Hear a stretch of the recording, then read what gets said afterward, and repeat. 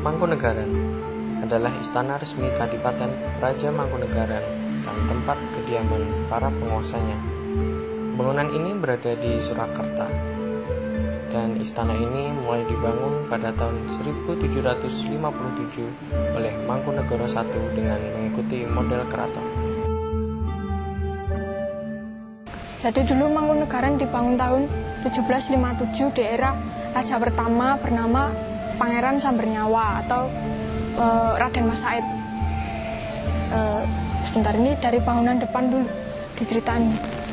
Itu yang bangunan depan pertama itu namanya pendopo. Itu terbesar di Indonesia bangunannya. Pendoponya terluas di Indonesia. Apa namanya?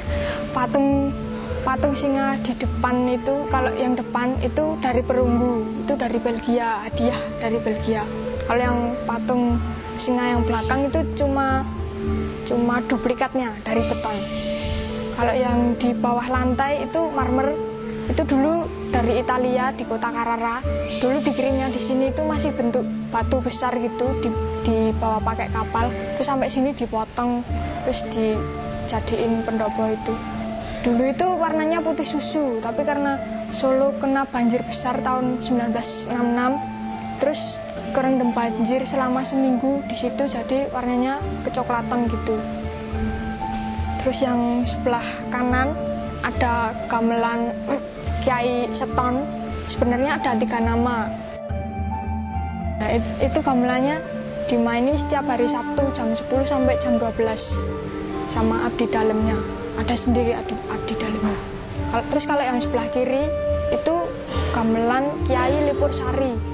Itu buat mengiringi tarian pada hari Rabu jam jam 9 sampai jam 12 biasanya tariannya ya ada bermacam-macam sih tariannya. Lampu-lampu lampu-lampu yang di pendopo itu jumlahnya 49 tapi beberapa ada yang dilepas sih jadi 45 kalau nggak salah.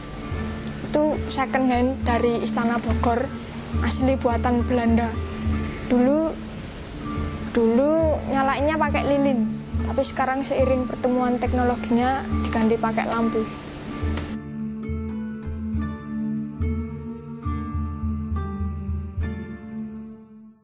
Kalau kalau yang bangunan kedua namanya Paringgitan. Di depannya itu ada dua patung cewek cowok. Yang depan dari Cina yang belakang dari Italia. Terus terus bangunan bentuk bangunan Paringgitan itu kutuk ngambang. Kutuk itu kan e, ikan itu kan. Ikan terus ngambang. Terus yang cekungan di bangunannya itu bentuknya misal kayak kepala sama ekor gitu terus yang dalamnya juga. Dalam ageng.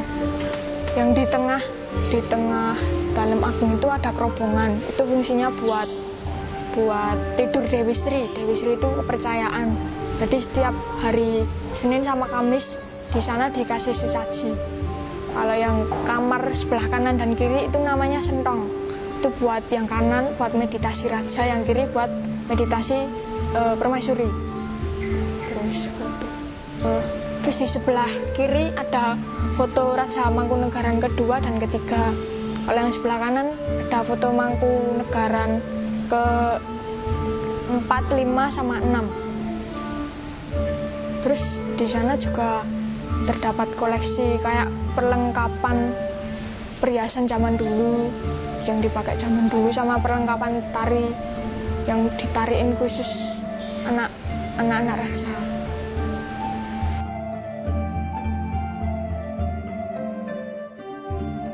Pura Mangkunegaran menjadi pusat budaya dan seni di kota Solo. Di sana terdapat berbagai koleksi berharga yang ada di dalam istana. Konon katanya, dipercaya benda-benda tersebut berasal dari kerajaan Mataram dan Majapahit.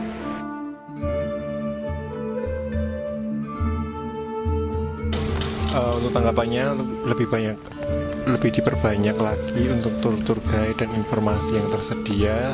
Namun sudah cukup menarik untuk keterbukaan dari pihak istananya sendiri